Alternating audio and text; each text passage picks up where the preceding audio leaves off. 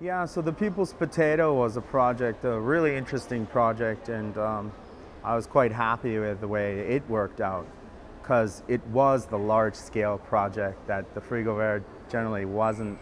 That the Frigo Vert, the Frigo Vert, I think it was very successful in some ways, but the People's Potato brought to the masses food security issues or better food or hey, you could come every day and get free food. Pretty amazing, you know and um, a great project, a really good idea that that that came to uh, came to work really well in the end.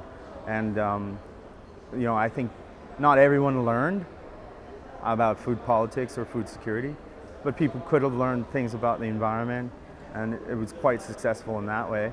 And you know, maybe people could go back and learn how to like make food, how to instead of just buying processed food, you know, every day they could eat really good quality, very healthy food.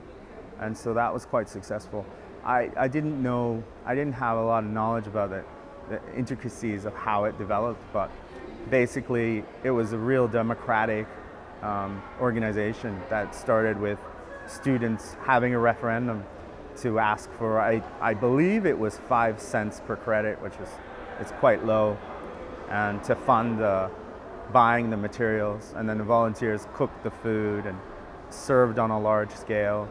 And I, I, guess what was good at the time is like, even though the university administration really, really opposed having any kinds of these food cooperatives, in the end they were kind of forced to do it because it was so wildly popular. And a couple of times the administration attacked the the, the, the governance and uh, the money and how it was spent and things like that. And every time they did, it was wildly unpopular.